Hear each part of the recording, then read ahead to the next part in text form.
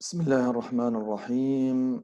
طلبتنا الأعزاء طلبة جامعة الأقصى وطلبة قسم الرياضيات وكلية العلوم. ومن يسمعنا في أي مكان من الكليات الأخرى. آه، نلتقيكم اليوم في المحاضرة الأولى من آه، مساق calculus 1 تفاضل وتكامل واحد.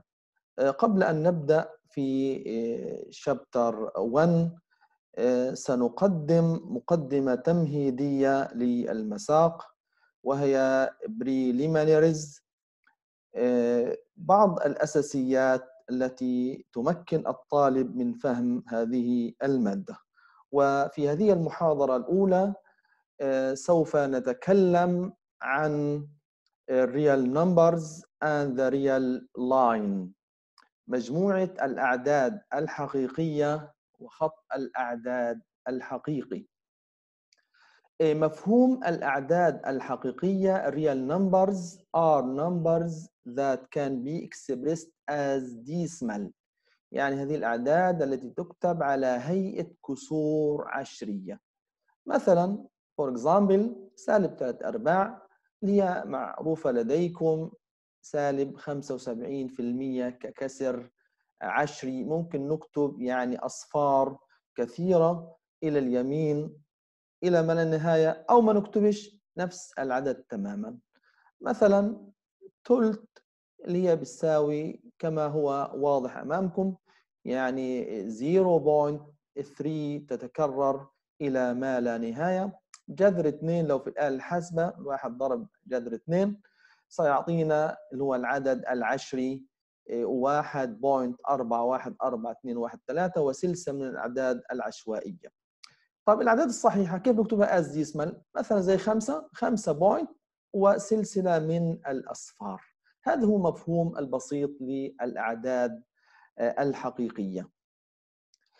أيضا الأعداد الحقيقية تمثل هندسيا represented geometrically as points on a number line. خط هو أعداد يسمى real line كما هو واضح أمامكم. يعني هذا الخط يعني يقسم بوحدات معينة. الزيرو الواحد الاثنين الثلاثة طب أين نمثل الأعداد؟ كل واحد في مكانه. مثلا الثلث معروفة هي يعني ثلث المسافة يعني اللي هو من الصفر بين اللي هو الصفر والواحد ناخذ ثلث المسافة وهكذا باقي الأعداد. الأعداد الموجبة على يمين الصفر والأعداد السالبة على يسار الصفر.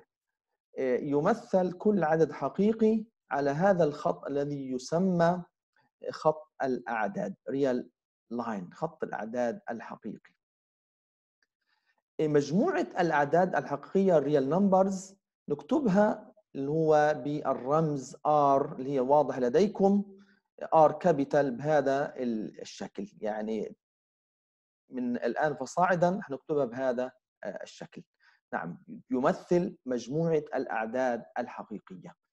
طيب خصائص الأعداد الحقيقية يعني بشكل مبسط آه، يعني كلها مفاهيم بسيطة مش هنشعب كثيرا لأنه مرت معاكم في المراحل المدرسية ولكن التذكرة probabilities of real numbers في الجبرايك probabilities حيث معروف لديكم إنه الأعداد الحقيقية ممكن نجمعها ونطرحها ونضربها ونقسم على بعض ما عدا القسمة على صفر يعني added subtracted multiplied.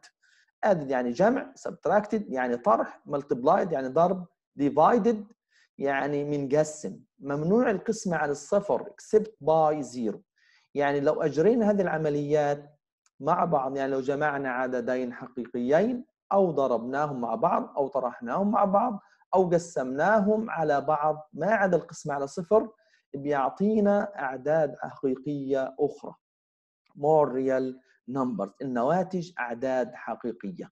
هذه الجبرايك probabilities الأوردر probabilities خصائص الترتيب في العدد الحقيقي. معروف إنه العدد الأصغر في خط الأعداد بكون على يسار العدد الأكبر. زي مثلا 2 و5 2 بتكون على يسار الخمسة. لكن إذا كانوا هناك عددين متساويين يكونوا نفس النقطة بياخذوا على خط الأعداد. يعني إذا كانت A بتساوي B فهي تمثل نفس النقطة على خط الأعداد الحقيقي. لكن في هناك خصائص للإنكواليتيز وهي تتبع يعني خواص الترتيب وهي يعني آه، مفصلة في هذا الجدول summarized in the following table. آه، كويس إنه هذه نهتم فيها كثيرا. هو خصائص الانكواليتيز آه، في الأعداد الحقيقية. إذا كان if A و B و C are real numbers then إذا كانت A أقل من B فلو جمعنا C للطرفين يبقى التباين كما هو. اذا هذا معناها implies that أو then تؤول إلى يعني A plus C أقل من B plus C. نفس الشيء نمرة اثنين لو كانت A أقل من B لو طرحنا من الطرفين C أيضا سيبقى التباين كما هو. A minus C أقل من B minus C. أيضا نمرة ثلاثة وأربعة لو كانت A أقل من B لو ضربنا بعدد موجب C أكبر من صفر يبقى التباين كما هو. حينما تورد الأمور A C يعني تعني ضرب A في C. أقل من B في C. نتذكر إنه إحنا ضربنا المتباينة الطرفين بعدد حقيقي موجب يبقى التباين كما هو. أما نمرة أربعة إذا كانت A أقل من B و C أقل من زيرو يعني عدد سالب. لو ضربنا المتباين حنشقلب التباين. يعني حيصير عندنا A أقل من B فبتكون A في C أقل أو أكبر A C أكبر من B في C. فهو شقلبها تماما يعني بمعنى B في C أقل من A في C. يعني تذكر إنه A في C أكبر من B من B في C. يعني ممكن نقرأها المتباينة من اليسار أو من اليمين وأيضا صحيح. special case يعني لو كانت A أقل من B هنا A و B كمان مرة. أي عددين مهما كانوا ليس بالضرورة أنه يكونوا موجبين أو سالبين. أو صفر. المهم يحقق هذا الأمر. زي مثلا سالب 2 أقل من zero. لو ضربنا في سالب فحيكون عندنا اللي هو 2 أكبر من صفر حينما نضرب في minus. هذا special case يعني نضرب في minus. يعني كمان مرة بشكل عام إذا كانت A أقل من B إذا minus B أقل من minus A. وهذا لا يعني إنه minus B و minus B عددين سالبين لأنه A و B بشكل عشوائي. يعني هذا بشكل عام لجميع الأعداد الحقيقية. طب نمرة خمسة reciprocal لو كانت A أكبر من صفر يعني عدد موجب فال reciprocal يعني مقلوب ال A يبقى موجبا. نفس الشيء لو كانت A أقل من zero لأنه تتبع الأمور السابقة حيكون أيضا ال reciprocal أيضا negative. أما نمرة ستة if A and B are both positive or both negative. يعني إذا كان A و B كلاهما موجبين أو كلاهما سالبين. فإذا كان A أقل من B فالريسبروكال يعني المقلوب بيغير لي التباين. يعني حيكون واحد على B أقل من واحد على A. بمعنى واحد على A أكبر من واحد على B. ما بينفعش إذا كان واحد موجب وواحد سالب. يعني خلينا نفصل في بعض الأمور. السابقة اللي وردت في الجدول for example لو كانت 2 يعني 2 أقل من 5 لو ضربنا في سالب في minus حيكون سالب 2 أكبر من سالب 5 أيضا سالب 2 أقل من 1 اضرب في minus حيكون 2 أكبر من سالب 1 طب reciprocal نمرة 3 2 أقل من 5 إذا حيكون نص أكبر من خمس واضح. طب سالبين العددين سالب 3 أكبر من سالب 7 إذا المقلوب سالب ثلث أقل من سالب سبع هذه بالنسبة لخصائص التربي الترتيب وال inequalities في الأعداد الحقيقية. أما خاصية ال completeness property خاصية اللي هو التكامل في الأعداد الحقيقية. يعني هناك بتقول يوجد أعداد حقيقية كافية. There are enough real numbers to complete the real number line. يعني كل نقطة على خط الأعداد ممكن ألاقي لها عدد حقيقي يمثلها. يعني فيش هول ولا gaps. That there are no holes or gaps. يعني متراص تماما. يعني في هناك correspondence بين الأعداد الحقيقية والريال لاين هذا يختلف لمجموعة أخرى. لو كانت مثلا مجموعة الأعداد النسبية ما بنلاقيها complete on the real line. يعني حنلاقي هناك في holes في العدد الحقيقي هذا الكلام هو بس فقط لمجموعة الأعداد الحقيقية. Special subsets of R. بعض المجموعات الجزئية الخاصة من الأعداد الحقيقية R the set of natural number. مجموعة الأعداد الطبيعية وهي الأعداد التي تبدأ هي تأخذ النمط 1 2 3 4 5 إلى ما لا نهاية. The set of integers. مجموعة الأعداد الصحية الصحيحة ورمزها زد وهي مجموعة الأعداد الموجبة والسالبة والصفر. مجموعة أعداد العد. صفر زائد أو ناقص واحد زائد أو ناقص اثنين زائد أو ناقص ثلاثة وهكذا إلى ما لا نهاية. The set of rational number مجموعة الأعداد النسبية وهي بتاخذ النمط رمزها Q A على B حيث A و B تنتمي إلى Z. لا بد أن يكونوا عددين صحيحيين. ما بينفعش أعداد أخرى. يعني ما ينفعش تكون أعداد حقيقية. أعداد صحيحة A و B حيث B لا تساوي صفر لأنه القسم على صفر يعني لا تجوز ما بيعطيناش عدد A على صفر ما بينفعش تكون عدد. هذه هي نمط الأعداد الصحيحة. بعض الأمثلة للأعداد أو الأعداد النسبية examples of rational numbers زي مثلا ثلث سالب أربعة ساع ممكن نكتبها يعني السالب في البسط أو في المقام فقط يعني إشارة واحدة وهي يعني نفس العدد زي مثلا اللي هو 200 على 13 عدد نسبي زي ما انت شايف إنه اللي هو البسط والمقام أعداد صحيحة.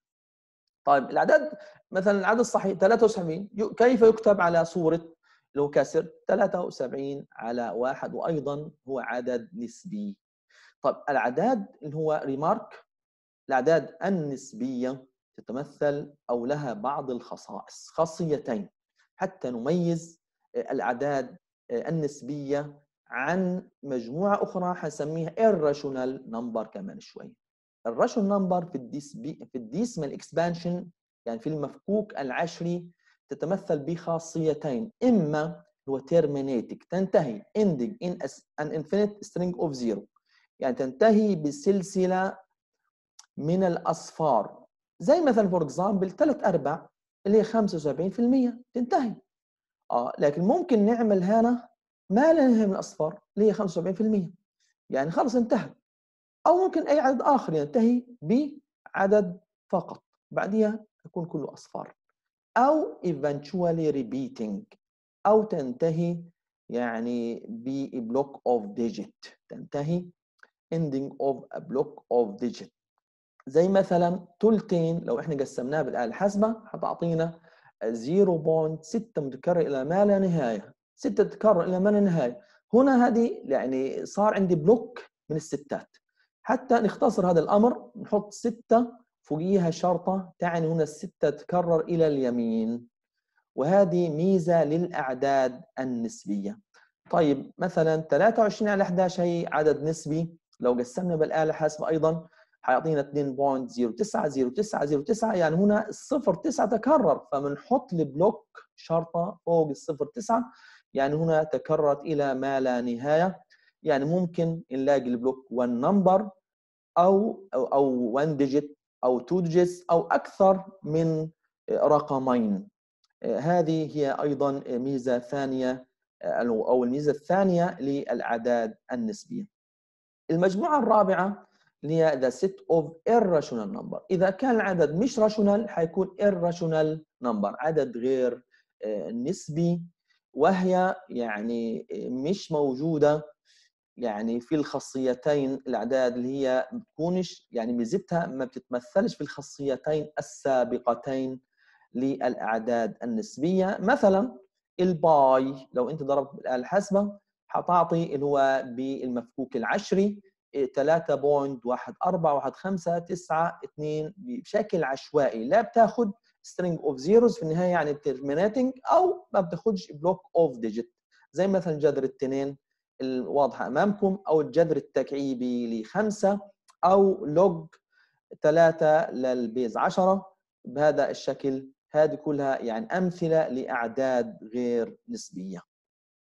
remarks يعني هنا مجموعة الأعداد الطبيعية natural number subset من Z و Z subset من Q و Q subset من R مجموعة الأعداد النسبية مجموعة جزئية من مجموعة الأعداد الحقيقية. وكذلك ال rational number لوحديها أيضا subset من R نمرة اثنين ال natural number أو ال rational number وال irrational number اتحادهم بيعطي كل R أما تقاطعهم بيساوي phi.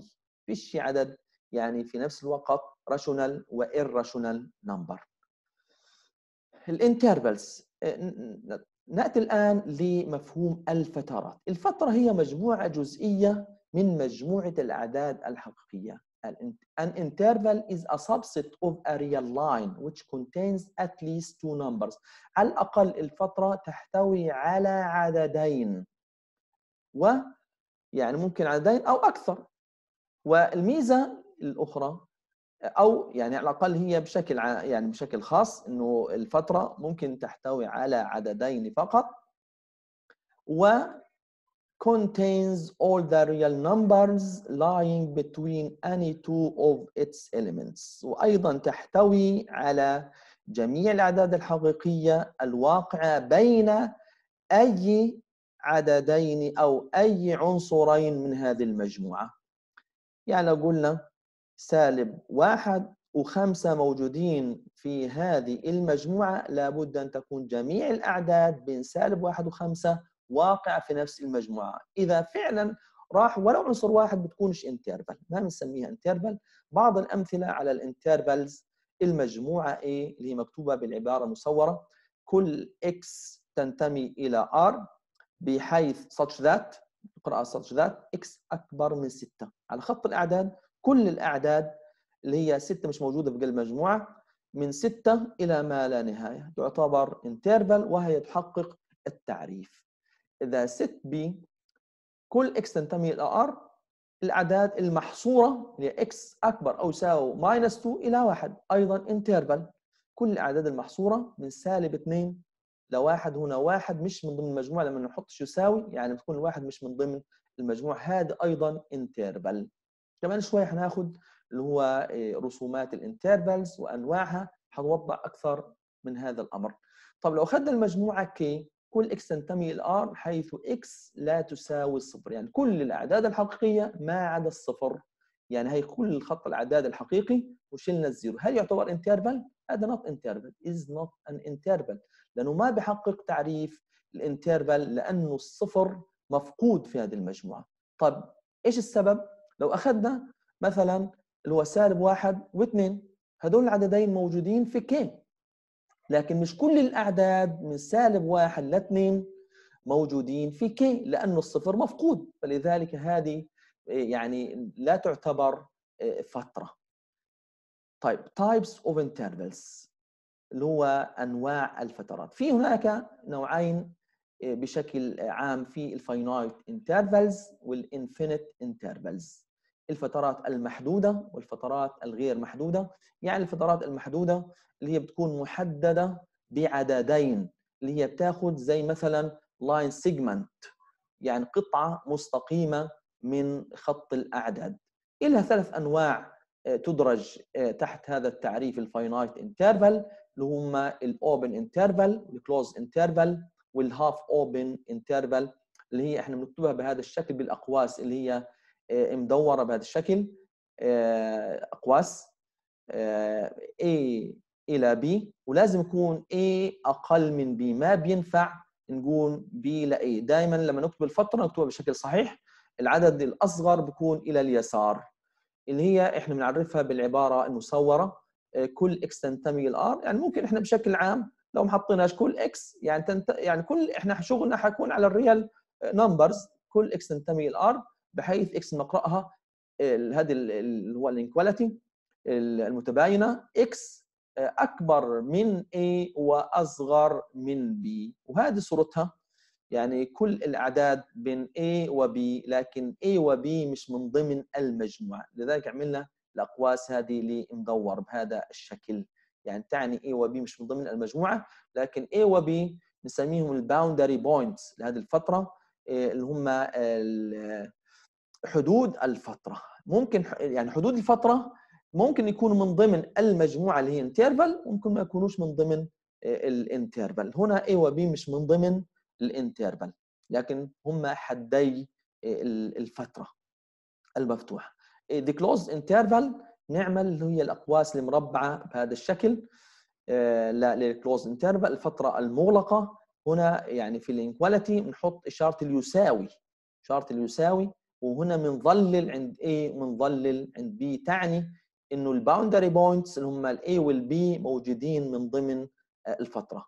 أما ال half open interval يعني من أحد الجهات بتكون اللي هو موجود العدد والجهة الأخرى مش موجود. زي مثلا بهذا الشكل A موجودة من ضمن الفترة وهنا ظللنا عند A لكن عند B مفتوح بضل تبين إنه B مش من ضمن هذه ال interval يعني مش من ضمن هذه المجموعة.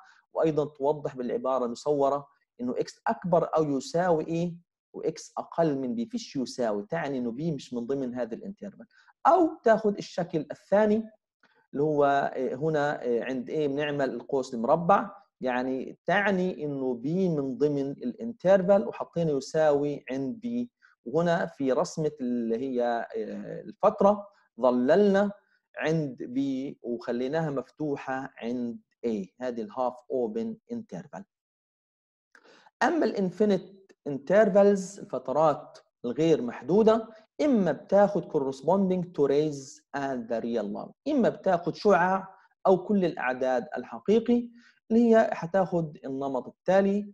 حنكتبها بهذا الشكل مثلا من A ل infinity infinity دائما يكون بشكل الجوس اللي هو المدور لأنه ال infinity و minus infinity مش أعداد حقيقية. هي عبارة عن رموز تبين ال infinity يعني إيش بتتخيل؟ عدد حقيقي أو عدد حقيقي كبير في أكبر منه. إيش بتتخيل؟ عدد حقيقي صغير سالب infinity أصغر منه فلذلك infinity و minus infinity are not real numbers اللي إحنا نكتب هذه الفترة الغير محدودة infinite interval كل x تنتمي ل r such that x أكبر greater than a أكبر من a اللي هي تمثل بهذا الشكل شعاع. A مش موجودة من ضمن الفترة. كل الأعداد على يمين a شعاع. ينطلق إلى ما لا نهاية. زي مثلا قيمة a ما هي أصلا؟ زي قلنا لو كانت a بتساوي سالب 3 كل الأعداد على يمين السالب 3 حتكون من ضمن هذه الفترة. لكن لو أغلقنا من عند A بنعمل الجوس المربع عند A. كمان مرة عند ال infinity بيكون جوس مدور. ما بينفعش نكتب infinity و A لأنه دائما عند الكتابة إلى اليسار بيكون العدد الأصغر. العدد الأصغر لكن ال infinity دائما بيكون إلى اليمين في الفترات. اللي إحنا بنكتبه بهذا الشكل x أكبر أو يساوي A. بسموه closed ray شعاع مغلق لأنه A من ضمن هذه الفترة ال infinite عبارة عن شعاع مغلق. أيضا نمرة ثلاثة بنفس الفكرة لما نستخدم ال minus infinity ل B كل x تنتمي ل R such that x أقل من B open ray يعني تبدأ من B وتنطلق إلى اليسار إلى سالب infinity كما مره سالب infinity أو إيش تخيلنا أعداد صغيرة إلى اليسار بتضل في شعاع يمتد إلى ما لا نهاية. وال closed نعمل انغلاق عند B تعني B من ضمن الفترة وظللنا عند B وهذه closed ray أما سالب infinity ل infinity وهي تمثل كل ال real line كل real line وهي مجموعة الأعداد الحقيقية. كل R يعني الرمز R يعني نكتبها بهذا الشكل سالب infinity إلى infinity وهي تمثل the set of all real numbers. كل مجموعة الأعداد الحقيقية. طب هذا بفيدنا الفترات في حاجة بنسميها solving inequalities حل المتباينات. معنى حل المتباينة هي إيجاد مجموعة الحل. مجموعة الحل يعني ممكن تعطينا finite set أو infinite set أو ممكن تعطينا فترة أو فترة أو اتحاد فترتين ممكن تعطينا اتحاد فترتين finite أو infinite وارد هذا الأمر بكل شيء. ممكن تعطي 1 element ممكن تعطي 5 ممكن تعطي كل ال real numbers هنأخذ أمثلة على هذا الأمر. Example 1 solve the following qualities. يعني حل مجموعة المتباينات التالية. يعني في الحل هنوضح اللي هي مجموعة الحل. وكذلك نرسم مجموعة الحل ونمثلها على خط الأعداد. المتباينة 4x زائد 3 أكبر من ماينس 9 بدنا نبسط. حتى نبسط حنستخدم خصائص ال ordering يعني أول حاجة حنتخلص من 3 معناته هنا بنضيف سالب 3 إلى الطرفين يعني نطرح 3 من الطرفين. حينما نطرح 3 3 minus 3 بصير zero.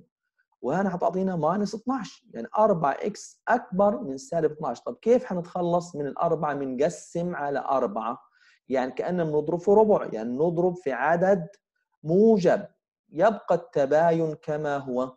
لما نقسم على أربعة أو بنقول بنضرب في ربع يبقى التباين كما هو. تتبسط عندنا اللي هي x أكبر من minus 3 كل الأعداد على يمين سالب 3 اللي هي حتكون مجموعة الحل هي ال infinite interval من سالب 3 ل infinity مفتوحة عند سالب 3 الذي تمثل بخط الاعداد أو بالشعاع التالي سالب 3 وإلى اليمين تنطلق. نقول x أكبر يعني كل الأعداد على يمين السالب 3 طيب مثال 2 3 x سالب 2 أقل من x زائد 3 في عندنا هنا variable لما نلاقي x في المتباينة وهي من متغير واحد بنخلي ال variable على ناحية والأعداد على الناحية الأخرى. فبدنا نخلص هنا من ال x يعني بأطرح سالب x للطرفين. بدنا نخلص من سالب 2 بأجمع 2 للطرفين. أي بمعنى؟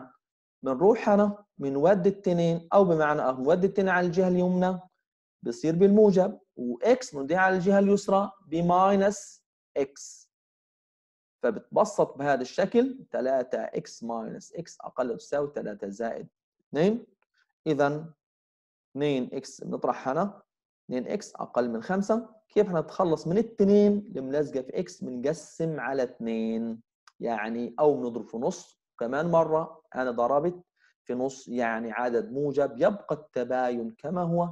يعني أبسط صورة للمتباينه x less than or equal 5 over 2 يعني 2 ونص يعني 5 على 2 يعني معناته كل الأعداد اللي على يسار 2 ونص وهنا في يساوي بتكون 2 ونص من ضمن الفترة. وكل الأعداد على اليسار بتعطينا يعني ال infinite interval من سالب infinity إلى 5 على 2 وهي closed ray طيب في المتباينة نمرة 3 سالب x على 3 أقل من 2 x زائد 1 يعني إحنا هنحل نتخلص أول حاجة من الثلاثة يعني نضرب المتباينة multiply the inequality the both sides يعني الجهتين الطرفي الطرفين للمتباينة بثلاثة لما نضرب في ثلاثة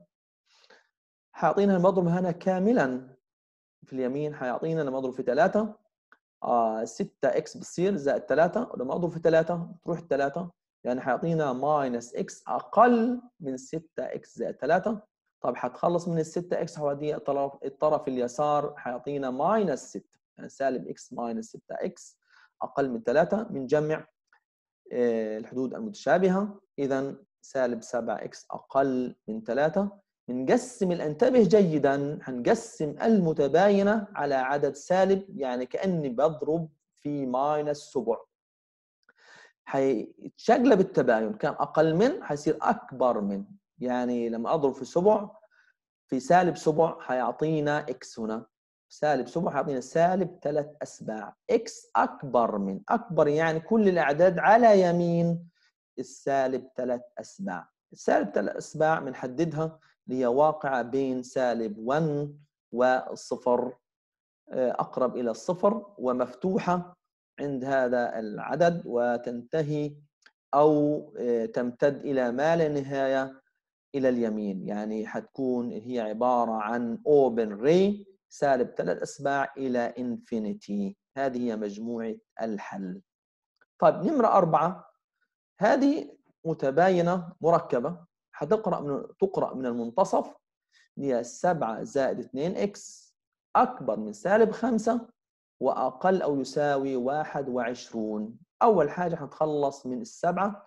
حروح نطرح سالب 7 من الأطراف الثلاث. اللي حيكون بهذا الشكل. لما نطرح. طب راحت اللي هي السبعة من المنتصف. بنجمع. أعطينا سالب 12 أقل من 2 x أقل من 14 لما نجمع. آه الآن حنقسم على 2 وين؟ اللي هو ال variable إيش في عندنا معامل لل variable بقسم. أنا بقسم على عدد موجب. يعني أو بضرب في نص وهو عدد موجب يعني يحافظ على التباين.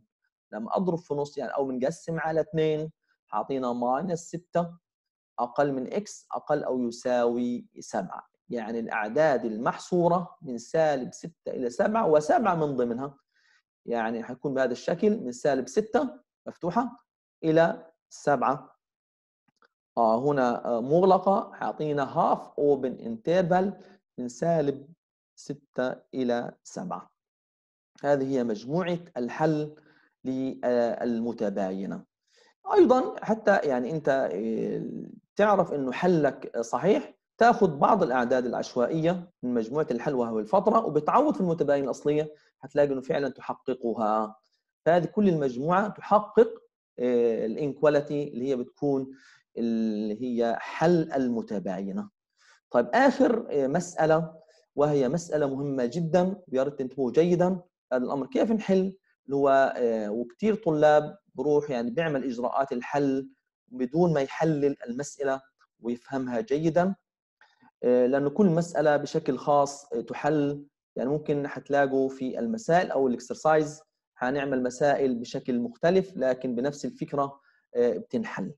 ننتبه جيدا 6 على x minus 1 أكبر أو يساوي 5 طب إيش نعمل هنا حتى نحلها؟ هل أضرب أنا في x minus 1 طيب x minus 1 في وجود x يعني في variable طب نطلع هنا. أول حاجة كل اليسار أكبر أو يساوي خمسة. خمسة أول شيء عدد موجب يعني لابد أن يكون الجهة اليسرى أكبر من الجهة اليمنى يعني ما بينفعش يكون سالب. يعني هنا طب موجب. ولما أقسم على عدد تحت لابد أن يكون موجب لابد أن يكون موجب يعني ما ينفعش يكون سالب. إذا كان سالب معناته لا يحقق المتباين حيكون عندي في سالب وهذا كلام خطأ. وما ينفعش يكون أيضا ما زال في المقام قيمة إكس واحد لأنه بيكون undefined ما ينفعش يقسم على صفر. يعني لابد أن يكون يعني هنا the above inequality can hold if x minus 1 أكبر من zero شرط تماما. ما ينفعش يكون يعني بشكل عام إنه x minus 1 تنتمي إلى r. يعني استثنين هنا السالبة والصفر. طب هذه نفسها تحقق أو x أكبر من واحد. يعني حيكون حل المتباينة متمركز في هذا الشرط يعني في x أكبر من واحد ونحطه في دماغنا إنه إذا إحنا أجرينا الحل لابد نضعه من ضمن هذا الأمر. يعني الآن بصير إنه ضمننا أول حاجة الحد x minus 1 موجب معناته بقدر أضرب طرفي متباينة بعدد موجب الذي يحافظ على التباين.